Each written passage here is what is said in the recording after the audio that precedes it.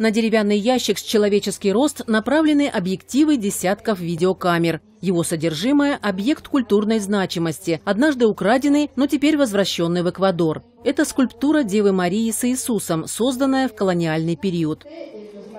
Она один из 567 исторических объектов, недавно возвращенных из Испании и Аргентины. Над этим работал специально созданный в Эквадоре комитет по борьбе с контрабандной деятельностью.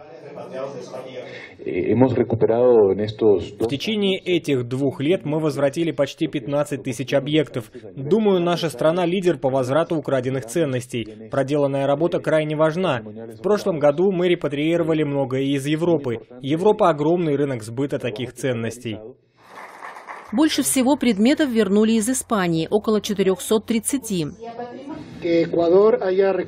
Мы очень гордимся, что большую часть важного наследия Эквадора вернули из Испании. Люди склонны оценивать вещи по их стоимости, но это ошибка. Эти объекты бесценные. Они наследие и напоминание о нашем историческом прошлом. Среди возвращенных ценностей артефакты древних культур, включая Вальдивию, народ, который существовал на территориях обеих Америк с 3500 до 1800 года до нашей эры.